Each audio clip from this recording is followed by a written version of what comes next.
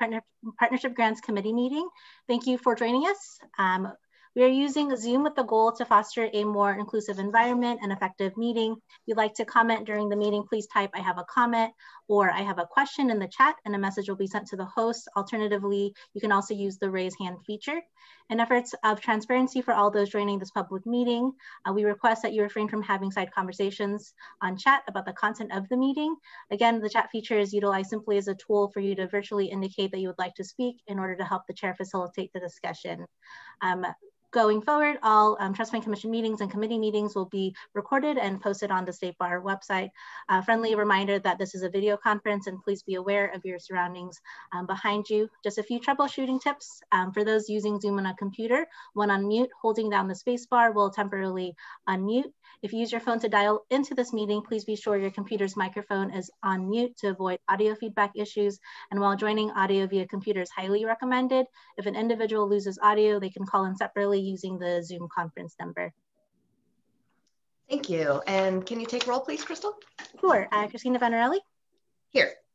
Kim Bartleson? Will Bichelli? Here. Eric Iskin? Deborah Myers? Here. Chris Schreiber? Here. Go to our advisors. Um, Judge Jaskol? Justice Murray? Um, let's see, is Bonnie Huff on the call? All right, um, State Bar staff.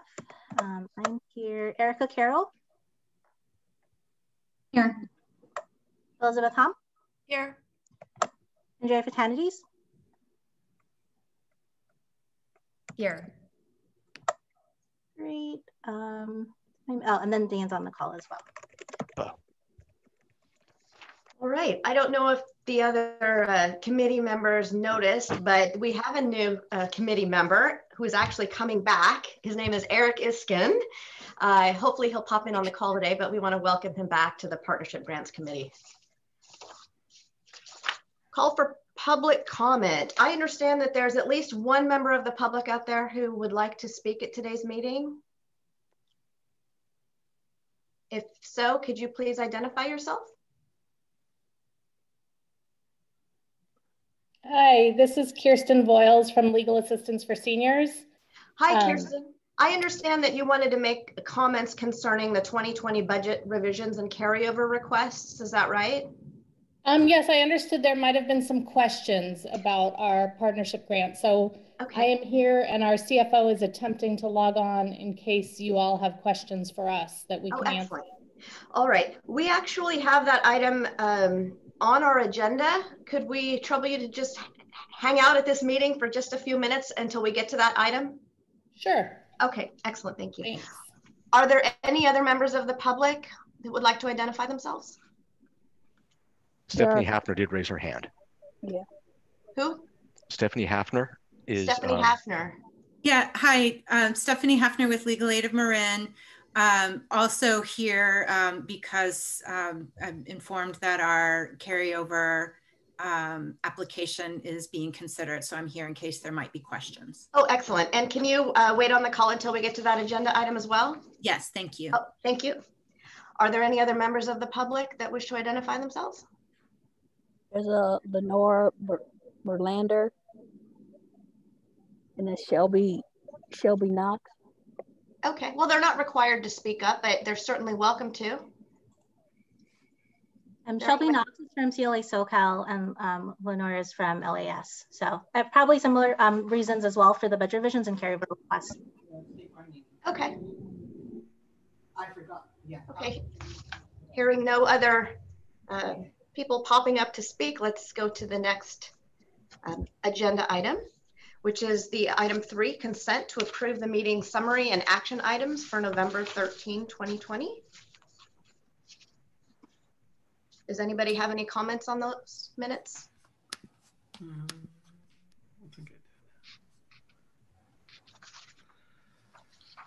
okay. Hearing none, do we have a motion to approve the meeting summary and action items? Sure, motion to approve. Okay, thanks, Will. Do we have a second? Okay, well, I will second in that case. All in favor? Oops, I'm sorry. I did it again. I did it again. Let's have a roll call vote, Crystal, please. Sure. Um, Vanarelli? Yes. Bartleson? Michelle? Yes. Um, Iskin? Myers? Abstain. I wasn't present at the meeting. Schreiber? Yes.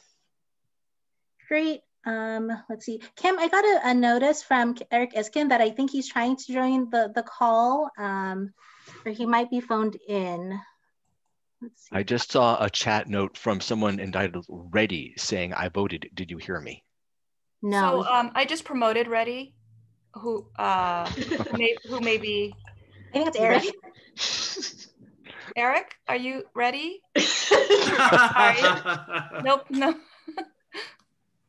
Ever.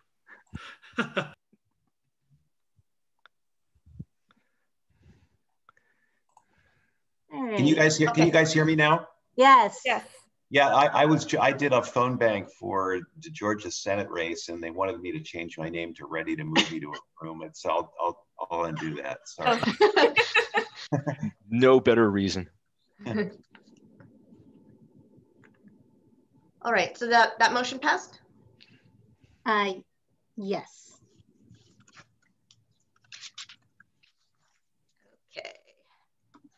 All right, so now we're on to uh, item four, the review and approval of the 2020 budget revisions and carryover request, and Crystal's gonna talk about that. Sure, so this is agenda item um, 4A. There was an attachment on the posted meeting agenda. Um, slightly hard to read, but um, that's kind of our typical format um, with the um, percentage of the carryover budget revision requested. Um, as a reminder on the screen, this was just the motion that was approved by both the committee and the commission uh, permitting the budget revisions under carryover request for 2020. Um, and just a summary of the requests received, all in all, we received 14 requests, um, 11 um, um need committee approval today. And just to note of that 11, four had the staff recommendation to approve. Um, they, they're between 25 uh, 26 to 49%. Um, seven were um, deferred to committee, 50% or higher, and the remaining three were approved, um, automatically approved by staff because we do have authority to approve requests um, up to uh, 25%. I also wanted to in include, in addition to what was posted on the meeting materials, um, there was an additional budget revision that was submitted um, after the 20th from CLA SoCal um, regarding their um, workshop at the Norwalk Superior Court. This is their explanation um, for your reference as well, um, because it's 50% staff recommendation is, is, is, to approve. So I know we have several uh, members of the public from these organizations on the line. I just wanted wanted to open it up to see if um, the committee members had any questions regarding those um, larger requests um, that were that have been set to defer to committee status. I, I had a question. Um, so I don't really oppose any of this, but for the larger requests, the effect of that will be that their 2021 dollars will be substantially higher than um, they ordinarily would be. Are we expecting that they will, and what if they can't spend all this money in 2021? Are we going to similarly be looking with favor on carryover requests at this time next year? Um, or, you know, what are we going to do about that? And do we want to, we had a similar question in the eligibility and budget review committee when we had similar kind of carryovers.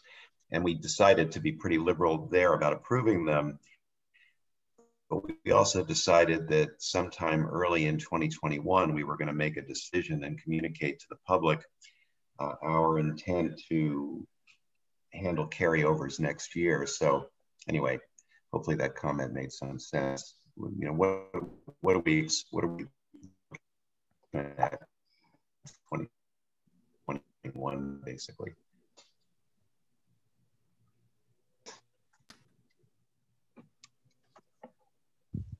Um, th this issue has um, been of concern in the past, which is one of the reasons why carryovers haven't traditionally been uh, liberally uh, provided in a partnership context.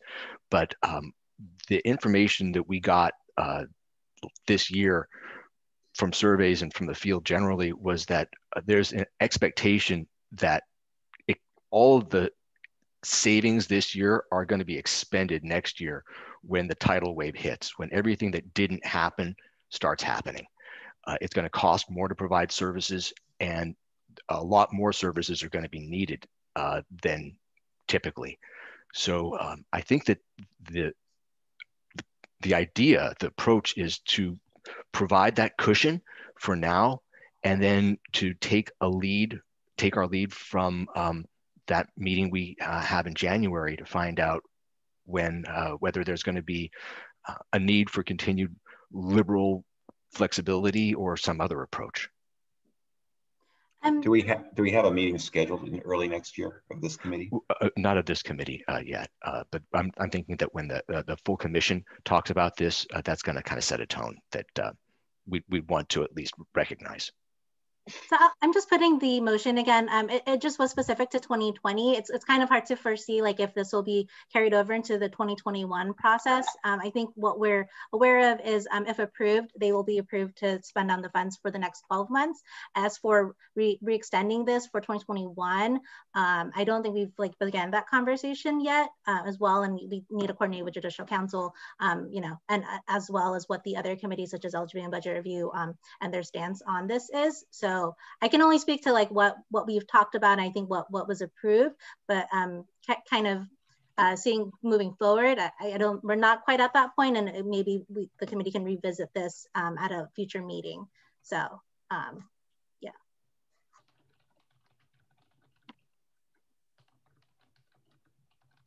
Are there any other comments? Any yeah. strong feelings about? Yeah, go ahead. Yeah, I just had some questions. Um, on the the carryover funds, I, I think the census we're going to uh, uh, vote for yay on all of them. But where does that money go um, if if it gets returned? For example, the what you had up on screen previously, I think, was the Norwalk from Community Legal Aid SoCal um, doing a 50% budget re reduction request, which is, is frankly confusing. I think this was a grant that I re reviewed, and it seemed like it was an important service that could be provided online. So, uh, but first, where does that money go? Our reserves, our, our partnership grant reserves. Okay, so it's still going to be for partnership grants. Yeah, and it will be redistributed next next cycle. Okay, um, excellent. Um, how how usual is uh, this reduction request? So this one, um, I believe Shelby's on the line too, if she can speak more about it. Um, but this was um, CLA SoCal, this was the 2020 um, project um, in which um, this project, uh, I think had a delay with submitting their MOU, so they haven't received the funds yet and looking into what they could actually spend because I believe there is a project for 2021. This was what they estimated, so they're, they're seeking yes. a reduction. So we had them submit a budget revision okay. just to kind of estimate what those expenses would and, okay. and, to answer your, your question, well, typically we don't get a lot of requests uh, to reduce grant awards, um, but uh, obviously this is a atypical year. So we're, we're entertaining all sorts of requests we don't normally do. Certainly. And the um, one that I flagged, I was really curious how they are doing a 99% carryover, with the Central California Legal Services. Um, what happened there? Do is we, that a do we know question anymore? For, is that a question for Shelby? Should um. Oh, Central, CCLS Central California. Is, um, is oh, yeah, yeah. Mark. I don't believe he's. Oh, I don't see. Okay. Sorry, I was looking at the, I was looking at the screen. Sorry, yeah, I changed the, the topic there to the Tulare County Unlawful Detainer Workshop by Central California Legal Services, and they're requesting the 99% carryover. Um, and I'm just curious, did they have trouble getting it started uh, uh, before the pandemic uh, took off and shut down the court services? Is there any concern there? I'm, I guess I have some concern that 99% is. UDs why... were UDs were essentially shut down, and they kind of still are. So I think it's not unreasonable that, that to expect them to be a them to be there to be a flood of them next year. Oh, I think that's totally reasonable. It was just the January, February, March of 2020 um, why those didn't get expended at all. If there was some sort of program problem, the court not being supportive or something else of concern there. I'm not sure that that was a, an ongoing project. Was that its first year, 2020? Yes, it was, it, so. as I read it, it yeah. was a new project. Yeah, so, so um, it, it, it's often difficult to do the startup and, and, and to ramp up something, especially when you're moving into a county that doesn't have experience, uh, as Tulare does not, with um, you know having a, an, an in-house private self-help component. So um, I'm not surprised that this didn't take off in the first three months, and I'm certainly not surprised that it didn't do much business in the following months. Okay. I guess as long as we're monitoring it, I feel comfortable. Yeah. Um, you know, th this was actually a project that the Tulare court uh, reached out to CCLS and asked them to propose. Uh, this wasn't something that was imposed on the court. The court asked for this. So I, I, I think that this is um, not as bad a sign as it looks, I hope. um, okay, I guess we don't have any more information on it then. Other than what was provided, no. Um, but but if, if the committee um, would like some additional information after this meeting, that's also a, a possibility if there's some supplemental information. Um, I did just want to, for the next slide, um, just additional some some additional considerations as to like how to treat this 2020 grant year. We did share this mm. um, list list and chart with with Bonnie earlier. Um, like in terms of treating it because it was such an atypical year, should should this be kind of like a waiver year towards that five year um, period that the committee usually looks at these grants? Um, would the committee consider any uh, maybe cap, cap percentages? Um, just a reminder that, that um, cap percentages weren't done for the eligibility budget review committee, so I don't know if we're seeking um, parity in terms of um, how these requests are treated, but just some, some other considerations um, as well. So.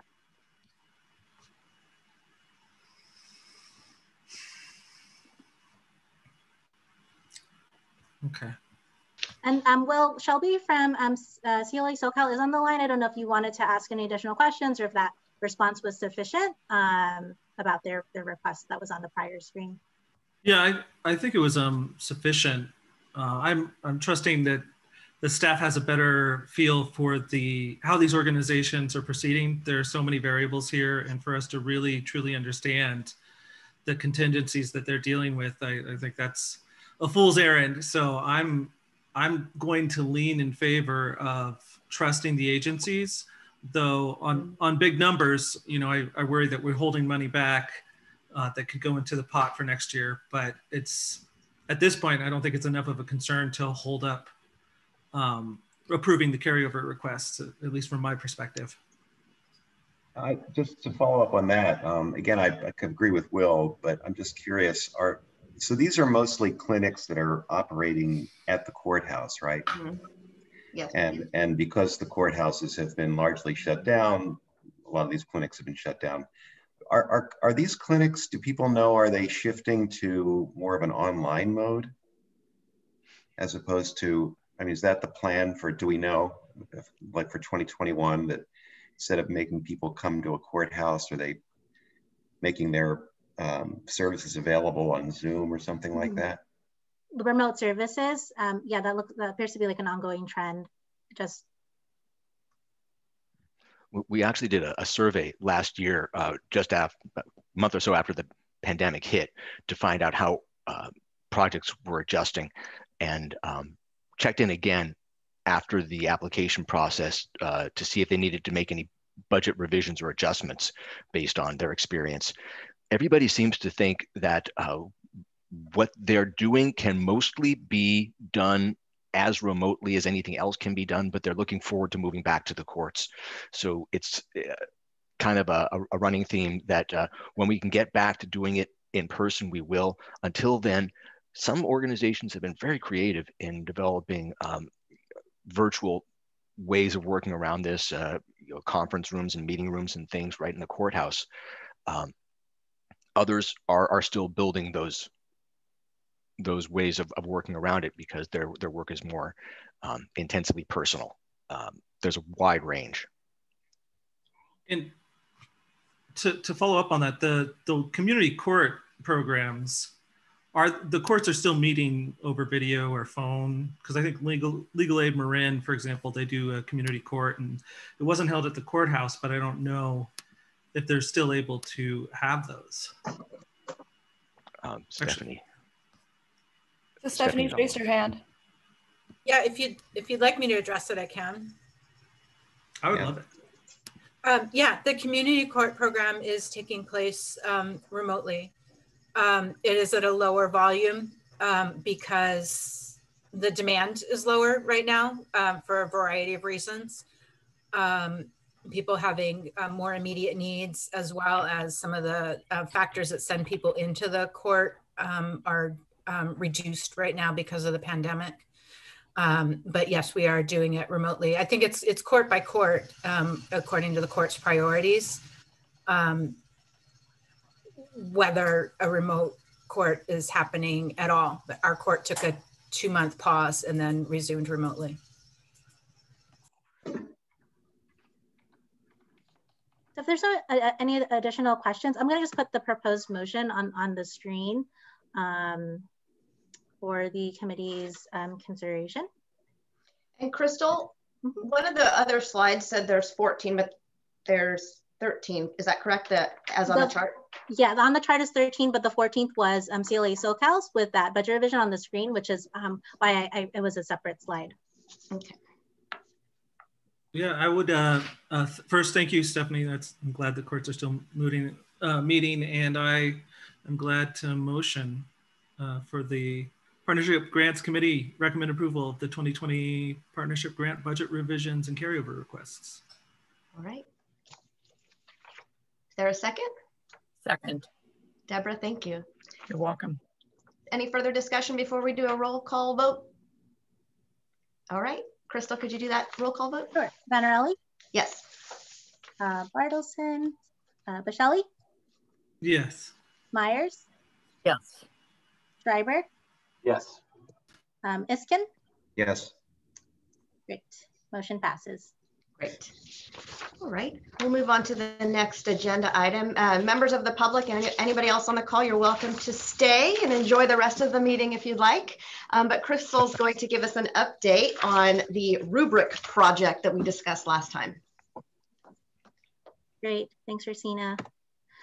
All right, so um, very similar to what we talked about um, a few weeks ago. Um, we did make revisions to the um, updates to the memo, um, which was posted under um, item 4B on the agenda. This is kind of just a bird's eye view of what that um, updated rubric entails, taking consideration what the committee offered us suggestions. We also did some additional research looking at existing rubrics with um, LSC and other um, other state um, government funded grants um, for some parity and some similarities, um, as well as feedback from our own HP HP um, rubric as well.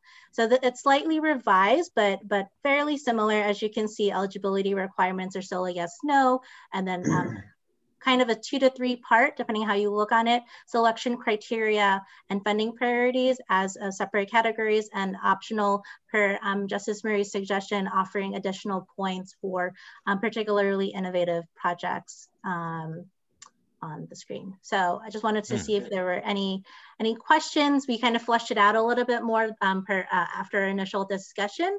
Um, and uh, in addition, another suggestion during the meeting was to offer some suggestions because we did have a three prong of um, exceeding expectations, meet expectations, and below expectations. Um, these are very, um, these are pulled almost directly from LSC's own definitions and we, we, we reformatted them slightly as well, just to kind of give some parameters as the committee members are um, reviewing proposals and, and um, yeah, proposals for 2022.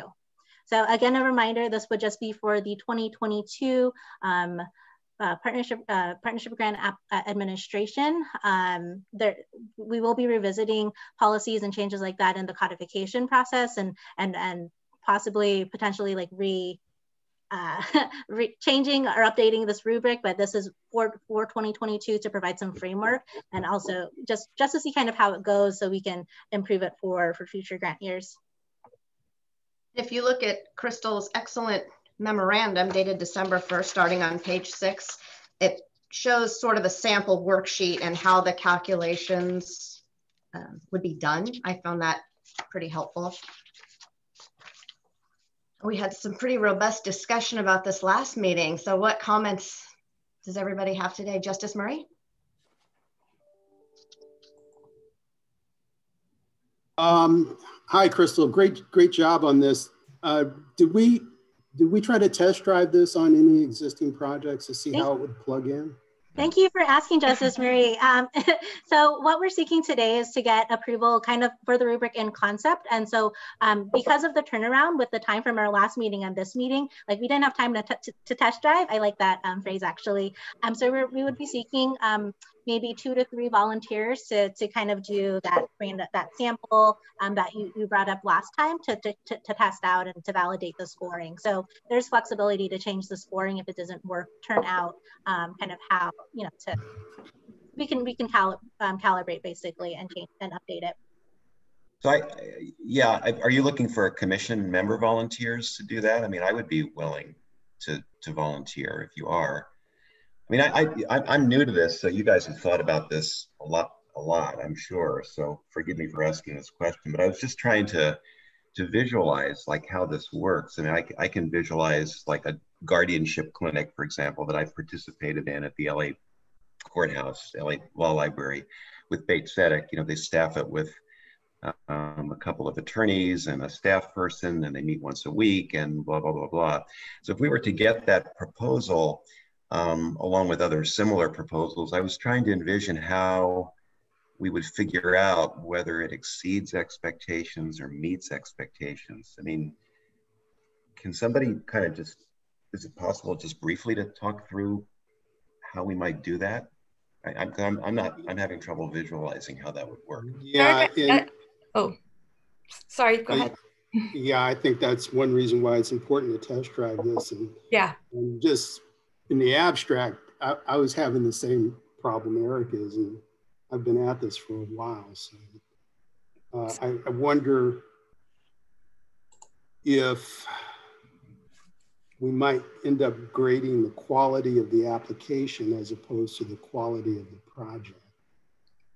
Yeah, especially in making determinations between exceeds and meets expectations. I, I think that, you know, doesn't meet expectations. That's a clear category. But the other two seem to be a little bit more squishy to me. And, yeah. and Justice Murray, I think that's uh, why I think we want to do the test driving to to to. Um, I think it's part of the calibration. I, we did it for the um, HPE uh, RFP. We, you know, all the committee members did did the we all reviewed one application and then we all got together to um, calibrate to make sure that we were, you know, looking at, uh, you know, issues like you you brought up that we're not grading the quality of the application, but actually the quality of the services that are being proposed. so um, Elizabeth, I'm sorry, I just, uh, every committee committee member in that instance reviewed the same application? So yeah, so for EAF HP, for um, we didn't have this process where we're kind of going to try to review old applications to calibrate. Uh, we the when we received all the new new applications, um, every committee member and every staff person, we all reviewed one application together and discussed it in each working group to calibrate to make sure that we were, you know, kind of highlighting the the issues and and scoring um, kind of similarly, so that you know somebody who's you know a tough grader wouldn't you know impact uh, the applications that they were reviewing.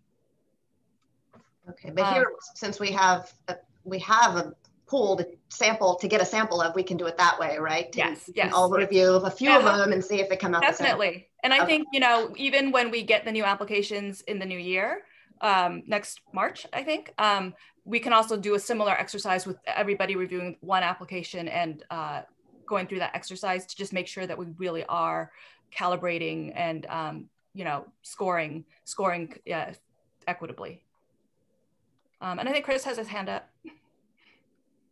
So I guess the one lesson that it seemed like we learned in the HP rubric was the like the problems that can arise when you have a huge category so I guess the thing that jumps out at me is like, and if I'm, am I reading it right? There's 105 possible points, or sorry, 115. That's right. So, I mean, basically, like things are sort of made or broken in the 80 point category. And the 80 point category has a lot of different subcategories. Yeah. So, do you mind? throw, Do you? I, I don't know if that was if you can put that onto the screen. Do you have the memo that you could just share? I do. Yeah. Yeah. Or. So I guess. Um. Crystal, do you have the memo to share? Yeah. Let me, let me pull it up. Um. Sorry. And I and re really, I, one of my questions was just on that second screen of the meets exceeds below, like, is that an effort to do what we've been sort of doing informally, which is to say like trying to group these things into a into priority sort of cat boxes almost or tiers? Yes. Yes. Okay. Um, is, is this what you were referring to, Chris? Yeah. So, yeah, thank you. And, I just wanted to, um, I guess, ask on this grouping of, for the 80 points, is the one of the issues that we came across was whether we were expected to be grading things sort of on a curve or whether these were sort of objective like in other words everybody could get 80 potentially or or should sort of only the top program get 80 points for this category and then sort of work down from there so that we end up with a little bit of a bell curve because I, I think like one issue that we have confronted in this committee over the years and I'm looking at like court involvement. Um, and I'd invite Justice Murray or even Bonnie or Dan or like people who've been on our committee and we've talked about this, our subcommittee. But like it's hard, like you get a letter from the court, it's often drafted by the program, it seems like, or it's sort of a pro forma letter and they sort of check the box which we've, I guess, sort of forgiven in the sense because we know that the court is um, busy and and th- that's a sort of a tough ask at times, and some courts are just more responsive than others. So, you know, I, I guess I don't know what that would look like in the rubric if we're like, how do you exceed your, an expectation of the court's involvement versus if they've gotten the letter, how would we apply this rubric in the various kinds of scenarios? What, what's sort of the thinking there? I, I, mean, one one thought is, you know, if they just got the letter, that would meet expectations. But if um, it's clear in the application that, you know, the court requested these services, or the court has been really involved in planning and um, promoting um, and really working together with the uh, QLSP to to implement this project, then that seems to be exceeds. I mean, just kind of talking abstractly. Yeah, and then so then what's the number that attaches to those two scenarios? Um, Crystal, do you can you scroll? Yes. So I think there's a little bit of discretion for committee members to to assign a number. Um, and um, is that right, Crystal? So for um, selection, it's actually they check mark the box and okay. then multiply it by the multiplier. Is it just one check mark? Yep. Mm -hmm. Um, I also wanted to add, like at, at the at the end of this too, just because for consistency and for overall flow, like we'll have to provide, we'll provide information about this new rubric in the RFP and also take a look at the existing application just for flow. And if these questions need to be more explicit to help the committee members um, review the application and make those determinations, I think like it, will just it has to be kind of all consistent around because I think the current application doesn't necessarily support this rubric, so we'll have to make adjustments on our end, um, which which staff will will, will do um, before the before the release. Yeah, I guess uh, one recommendation I guess I make is given the sort of breadth of knowledge that staff has on this, it would probably be helpful, maybe rather or in addition to, and I certainly am not trying to ladle on more work here, but it would be helpful in these categories to give exemplars of what would what staff believes would fit into each. Mm-hmm. I mean, over the years, like it, it might be sort of a Frankenstein application or Frankenstein of like this is a court letter that would exceed. This is an example of a court letter that yeah you know meets because um, I think that would be helpful during the process. Um, okay, thanks. That's helpful. Appreciate it. I think that's a great suggestion and similar to like what the, the bar exam does with their grading, um, like there are samples of like what this looks like. So hopefully from the test driving, we'll be able to identify some, for example, so there'll be kind of a, a packet to assist the committee, committee members in applying the rubric and looking at some examples. So um, yeah, sim similar thinking, Chris. Um, so Will has a question. Yes, um, just want to understand by approving how locked into the rubric as it exists now will we be? Will we be able to make changes? Could we have a working group get together or after the test drive make substantive modifications before applying it next year? Um, and along the same lines, when when would you expect to conduct the, the test drive session? It's, it's a pretty tight turnaround. Um, so this this um, the commission ultimately has to approve it in their meeting on the 15th. So um, what we're seeking is the committee recommending approval for that commission meeting um, on the 15th and before the application release. So I, I don't know in terms of like substance. So it couldn't change, change after that is like descriptions could change and like point points could change, but like it, it like it's in concept, but like I to rework the whole thing by the 15th. Um, without like the committee's in, input at this point, I think it might be we're, we're it's a I, I don't know if we'll. we'll we could make it. Yeah. We, can, we can make adjustments based on the test driving, but I think um, you know changing things significantly probably would not be possible given our time frame. Does that make sense? Right. I got. Yeah. I just want to understand what how, how locked in we are because I think this is a really excellent start.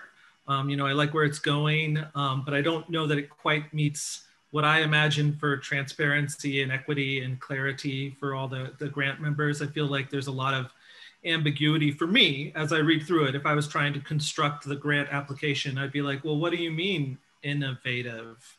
Um, and I think that can be filled out a little more, but if we don't all have the same concept of what's the innovative, what's uh, meets or exceeds right. expectations, um, right, and we'll and we'll just um, you know before the um, HP RFP process, you know we had the you know working groups and the team had kind of the same questions. You know, what does innovative mean? And it kind of means something different to everybody. Um, so I think those are discussions that um, you know we can try to have as we're test driving, but also we'll also have again when we're reviewing the applications for 2022 in our calibration uh, with with um, kind of the new set of applications that we'll we'll be reviewing. You know, uh, one thing uh, I, I want to raise from my conversations with Professor Meeker, who was on my working group for the uh, um, HP uh, RFP grants and brings a lot of experience to looking at rubrics, uh, was that uh, he says that these are always helpful, but they're always um, they get better the more you use them. So the first time you make one, you'll see a lot of things to fix the next time, and and every time it gets better. so I, I think we're on the right track to try to make this as good as it can be um, but it's never going to be perfect. Uh, we're always going to want to make it better next year, and and apparently that's to be expected. And, and actually, that's um, kind of our process with uh, trying to implement a rubric for uh, this next grant cycle, so that we will have information to really um, improve and revise and tinker with for the codification process. And just to be clear, after we score a bunch of these things for, for next cycle. Um, the, the committee and the commission still retains discretion, right? You don't just have to take the top 25. Yeah, exactly. Mm -hmm. So that's helpful. Although we probably want to be able to explain why. Sure.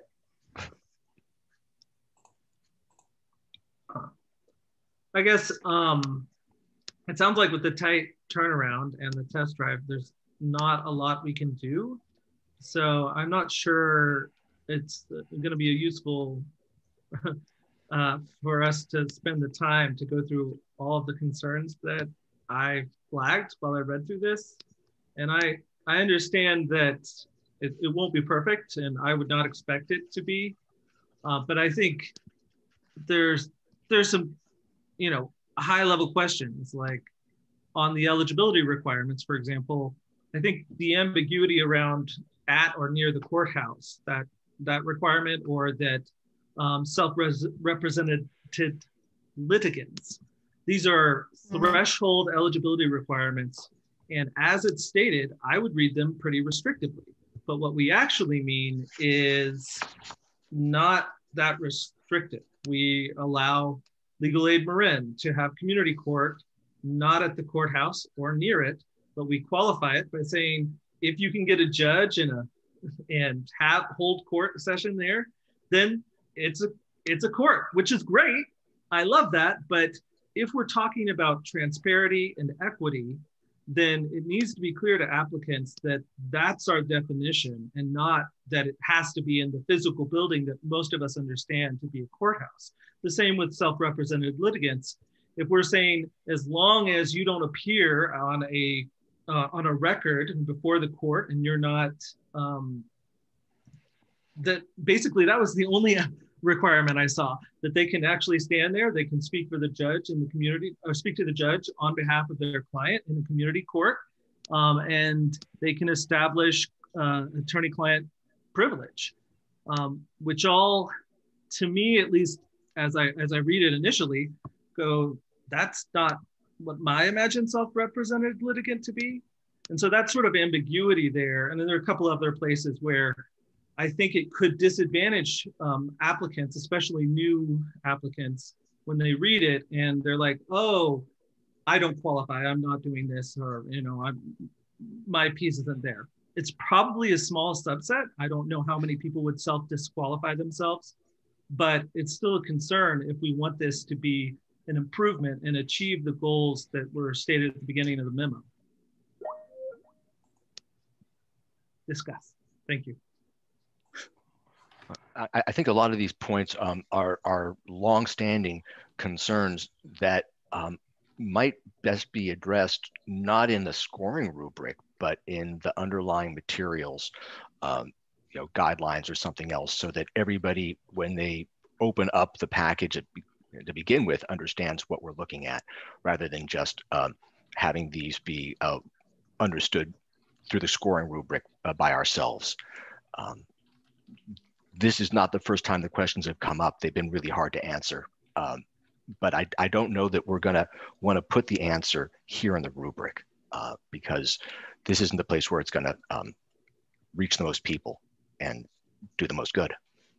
So I, Dan, I agree with that. And I guess, you know, one thing that occurs to me, I'm sorry if I'm jumping the queue here, but, you know, our greatest advantage in this whole process has always been, and I believe remains, having effective and open lines of communication with these two communities.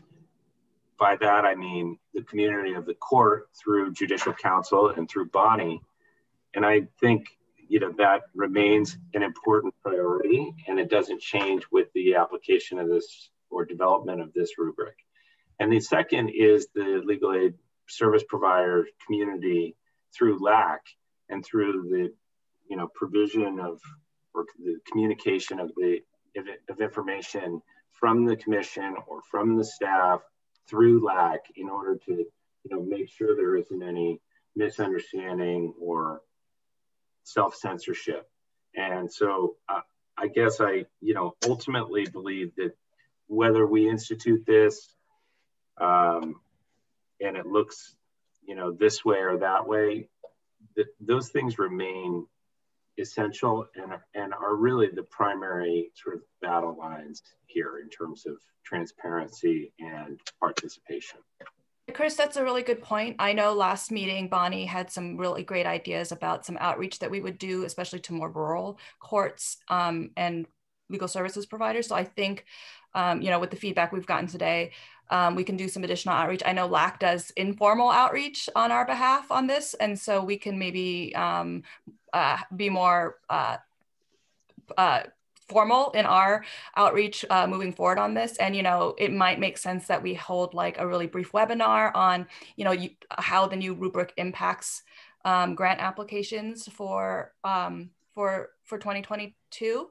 Um, and so you know, uh, I think, um, you know, all, all of your comments um, are really helpful and we definitely want to be transparent. I mean, that's the point of trying to formalize um, the review process and uh, provide some written documentation of how decisions are being made.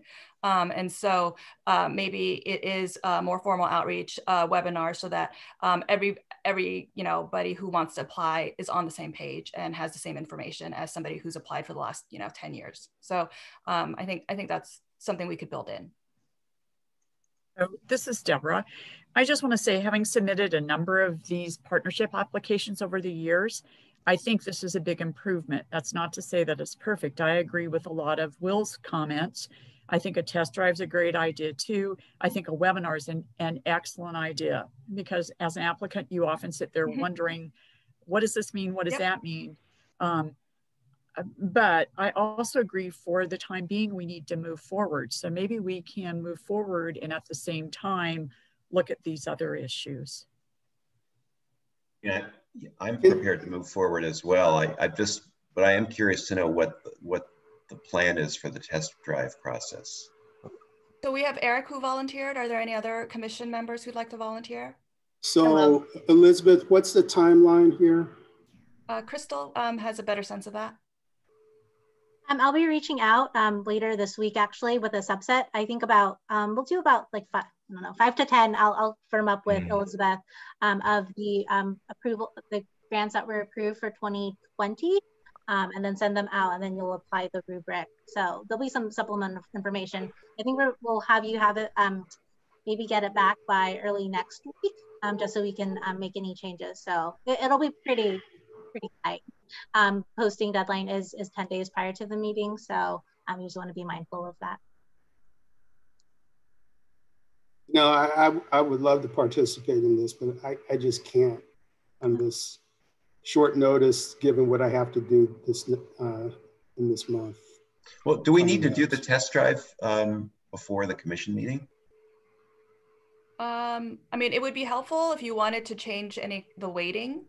Um, but we could also do the calibration session after, you know, test driving after um, it just, and maybe ask the commission to approve in concept with um, additional kind of minor changes after the test driving is complete. Can, can, can we do that? Because even for those folks who can participate mm -hmm. in this truncated period, I don't know that we're going to get the most valid uh, sort of results from the test drive, that, that we might get more valid results or more information if we had a longer mm-hmm. period of time. Yeah. To do that. Okay, so it, it, it I think we'll still need to um, do this in December because we are planning to uh, release the um, applications in January. Um, and we want to have all the information um, available to um, applicants. Um, the other, the um, other thought uh, you know, asking the commission to, uh, you know, improve in concept um, with giving authority back to the committee to um, make adjustments based on the test drive, something like that. I think yeah. we can. Yeah, I think that sounds really excellent. And thank you, Deborah, for your comments. I, I definitely understand that it's an improvement and that it's we want to keep moving forward on the process. I just wanted to make sure I had a clear understanding of how we could make easy, what I think are easily achieved improvements before we go ahead and implement it for this coming year. And it sounds like there's a proposal of uh, using the test drive and calibration and uh, asking the commission to grant the committee the ability to make those adjustments this December, assuming we can all get together and that's a good timeline. Um, I'm also volunteering to, to help out there, just to add my name to the list. Thank you. And would it just be um, permission to make adjustments to the weightings of each category? Is that what you're envis envisioning? I think so. Okay. I was also thinking it might might be a basis for coming up with um, illustrations of you know what might exceed expectations or meet expectations, something like that. To me, that is um, sort of the most difficult part of this evaluation because I, I don't really think we've ever looked at these applications. I know I haven't necessarily looked at them uh, from that perspective, whether whether one program sort of is exceptional versus another that meets the expectations. If the money was there, we were going to give each program the money, regardless of how they sort of showed up on paper. Mm-hmm. Uh, so I, I, it would be great if we could sort of get on the same page as to between those two categories of rating. What is what does that mean? Uh, so, you, for example, um, on picking up where Chris mentioned, you know, the uh, category of court involvement, you know, I think sort of intuitively, we, we, we want to make sure that when a court requests that a program be put in place, that, that we get that program funded. We, okay, that's a good ex, a good example of something that maybe exceeds expectations. On the other hand, we've had we have really good programs where the court's involvement has been minimal. They provided space, for example, um, or something along those lines. So. Uh, yeah, I, right now in the abstract, I'm just having a hard time seeing how mm-hmm. these are going to apply. I would really like to go through some exercise of. And Bonnie applying. had a question on this on this uh, topic, uh, asking uh, if there was a sense of what the committee would consider to be innovative, for example.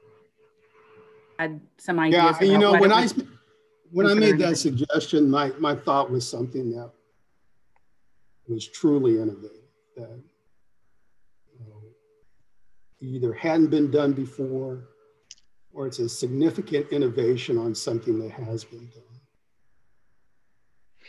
Um, I don't mean innovative in the sense that it's never been done in that particular county. That's not, to me, that's not innovative. Uh, but something, you know, kind of stands out as new. That that's what I had in my mind. I don't know what anybody else thought, but when I made that suggestion, that based on what Chris had had said earlier in the meeting, that that was kind of what I thought. I my my take on that, Justice Murray, is that again, this is a it's a scale. So innovation can be something. I, I guess I would say that something new to a county it, that's been piloted elsewhere would be innovative for that county, but not necessarily innovative at the highest level. But like community court, I'm not sure where that had been done successfully and in partnership. And so to me, like that would be an example of an innovation. Um, you know, I think over the years we've sort of seen several innovations, and um, some of them me that just you know without sort of thinking about the breadth of those examples um, there have been like for example domestic violence um, programs that i can recall reviewing in which um, they have begun to offer ser- services in new languages with outreach in specific communities. Um, they've set up um, clinic type um, uh, locations, which are at or near the courthouse, but in new places with the specific intent of meeting communities where they are. So things like that, I think, are innovative, and I'm sure, boy, Dan, I, I, I mean, I imagine you could put together a list of you know, half a dozen over the, the many years that would be sort of Yeah, it, but it's so tricky because I don't think it's an even playing field. Um, how do you compare a court that's gonna that's asking for its very first ever partnership project, but doesn't really know what it's doing and isn't you know maybe as engaged as some of the others versus one that's got a lot of experience and it just sort of par for the course and we're going to do another one. So you know run them through the system. Um, I, I don't know how to how to compare these. And when you get right down to it um, we will be as objective as we can be but it's going to be subjective at the bottom. We we have to decide what we think is important and how it fits in this in this rubric. Uh, so I, am really hesitant to, to come up with suggestions. People are going to use those as as um, directions, like this is what they want us to do, and, and it may not be the right thing for their courthouse. Yeah, but Dan, I, yeah, I guess I, my, I, sorry, Justice Murray, I, I just to say, I, I don't think I didn't interpret the question as what we would suggest somebody does to innovate. Just what is an example of an innovation? I mean, for example, for, for our own evaluative purposes. Yeah. Mm-hmm. And the flash, flash care was addressing a specific need. That was an, an innovation in the sense that they said, hey, we've got this giant backlog. We're going to partner with this uh, LSO and we're going to basically bang through like ancient cases, you know, and that was like that was a problem in terms of backlog in San Francisco County that didn't exist in Yolo or in, you know, Alpine. So I mean, I, I do think innovation will be specific to a specific court, but and I don't think it's going to look a certain way. but I, I do like the idea of rewarding people, not just running it back. Because the issue that we've confronted in this committee over the years has been, well, they tied a pink ribbon around it instead of a red one. It's the same program. You know, they gave it a new title. I mean, it's a need. Like, there's nothing wrong with the program to begin with, but it's like it's not new. And so, I do think like having encouraging innovative thinking is, a, I, I at least I am supportive of that. I, I do think it's easier to talk about that in terms of innovation than in terms of court engagement.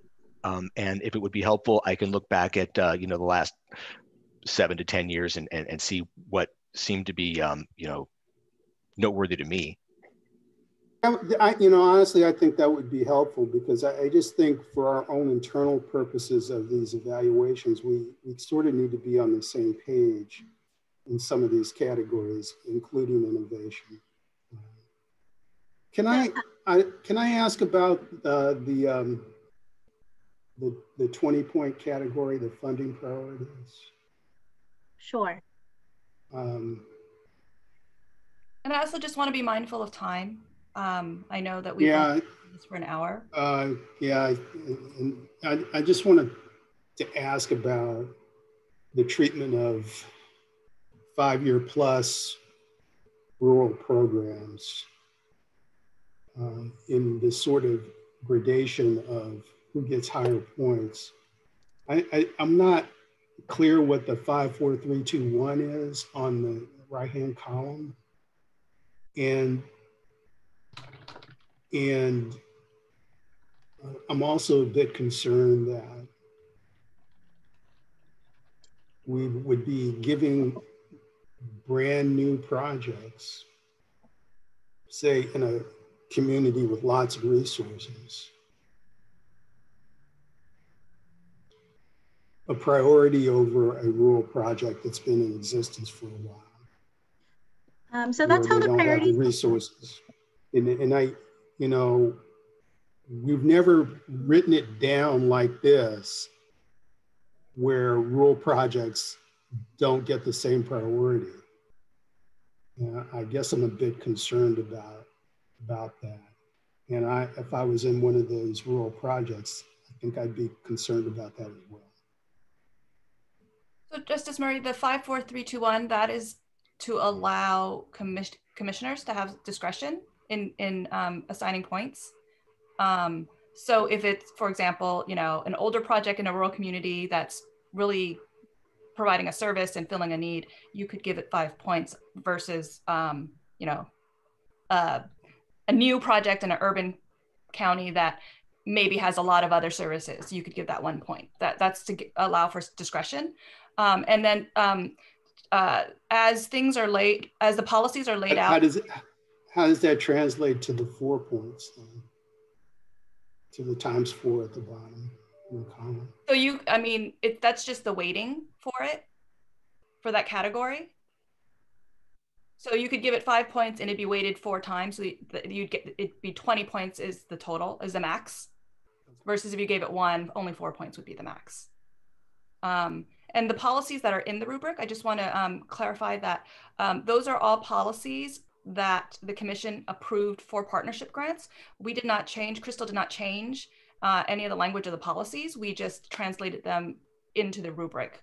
Um, because as you know, um, the board is uh, who can change policies uh, for us. And so we didn't want, um, you know, while we're uh, test driving everything, we, we didn't want to um, elevate it to the board yet. We wanted to do it along with codification.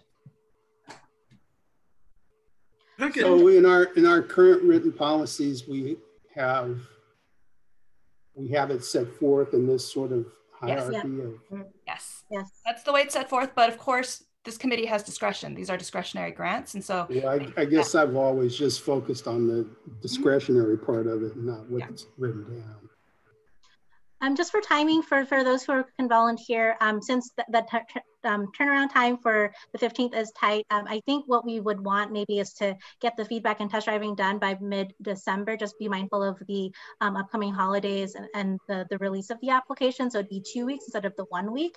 Um, just to confirm, Eric, Will, and Justice Murray, you're able to participate for this testing with the extension of that timing?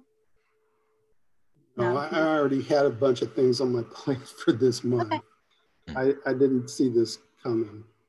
Um, Crystal, I can participate. Somebody just called me yesterday about doing an extra project. So okay. Thank you, Deborah. I, I think it'd be a good balance with the newer um, newer committee members as well as those who've been um, who are familiar with these. So thank you, Deborah, for volunteering. Um, I know we're a little we're behind, so I, I, believe the motion that we wanted to propose was that the committee recommend approval, um, and we'll carry over that um, in concept approach to the commission at, at its December 15 uh, meeting. But again, there'll be some flexibility to to make adjustments um, to the weighting of, of the rubric once we get the test driving in place. So I'll, I'll, I'll make the motion and then I have to jump off after the vote. I'll second. Any further discussion? Okay, we'll have a roll call vote. Okay, great. Fennerelli? Yes. Um, Bartleson? Biscelli? No. Biskin? Yes. Myers? Yes. Schreiber? Yes. All right, uh, motion passes. Um, let's see, and I believe that was the last one before adjournment, Christina. Crystal, can you, do, can you send me the materials? Uh, uh, it may be that I have the opportunity to glance at it without. Yeah, you're welcome to send me any details. comments as well outside of the testing and we can um, take that in consideration. Why don't you send them to everybody and anybody who is able to work on it, we will because I think there was a lot of interest. Okay. All right. Is there anything further we need to discuss? Four minutes overtime. Well, thank you, everybody. So we'll adjourn. Thank you. Thank you. Thank you. Bye. Bye.